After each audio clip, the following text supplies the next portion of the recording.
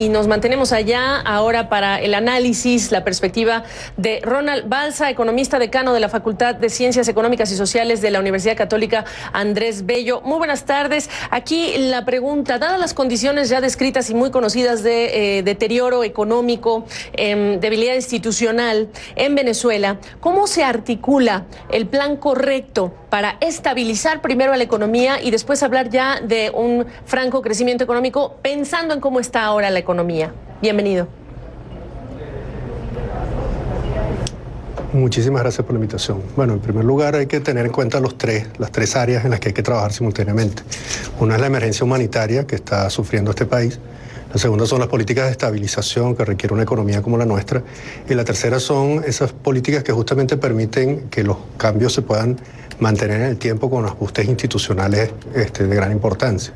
Estos tres trabajos se deben hacer simultáneamente se debe tener en cuenta que son tres objetivos aparentemente este, separados en cuanto a que algunos creen que son objetivos políticos, sociales y económicos y los ven como no interdependientes, pero sí lo son. Ese es el primer ingrediente para que un proyecto de estos tenga, tenga éxito.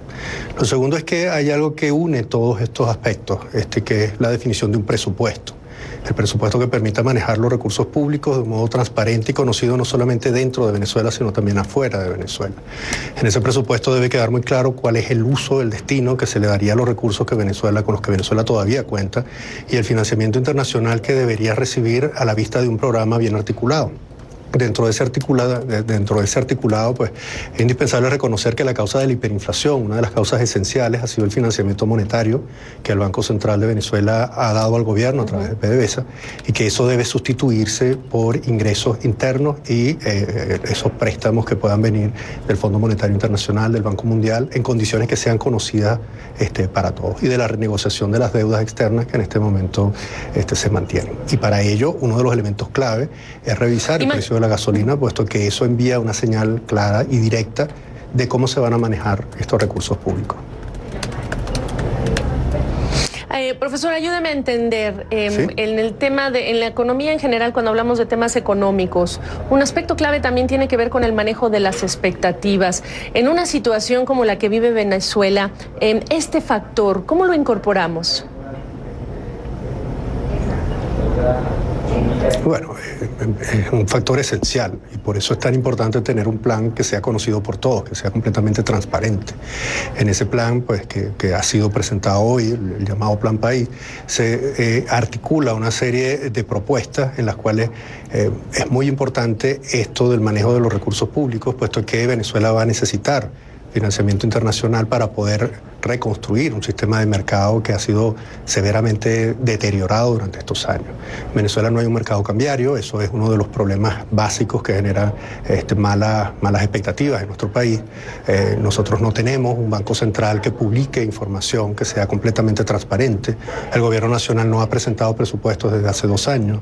Buena parte de los fondos que se recibieron, tanto por la vía petrolera como por la de endeudamiento, simplemente se fumaron. Todos los proyectos de inversión que se habían emprendido fueron detenidos, los procesos de expropiación avanzaron y los controles de precios que, que no tuvieron en cuenta pues ninguno de los elementos de costos que el mismo gobierno estaba generando, pues generaron la quiebra y salida de muchas empresas de nuestro país.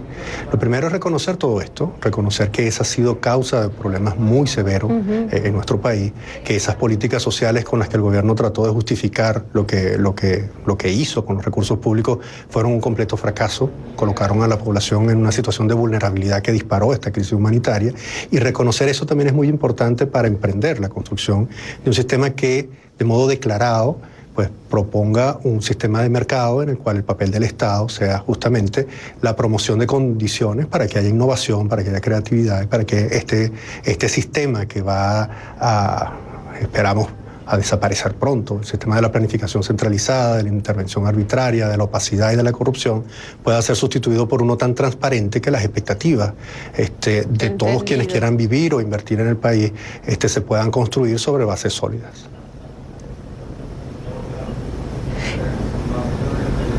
Eh, Es un, es un tema muy, muy amplio, pero em, le agradezco la oportunidad de un primer contacto para hablar de este plan país. Creo que la parte importantísima que podríamos continuar hablando, profesor, es la implementación y em, cuánto tiempo tardamos en estabilizar a un paciente, si se me permite hablar así de una economía como la venezolana, es otra parte que nos interesa. Le agradezco, Ronald Balsa, desde Caracas.